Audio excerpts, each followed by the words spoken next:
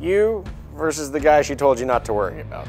So buffer retaining pins. This is the classic buffer retaining pin you get in all of your kits, and it's fine. It'll get the job done. Most of the time these don't fail. But there is a risk of it, and if it does fail, it's gonna cause some serious issues.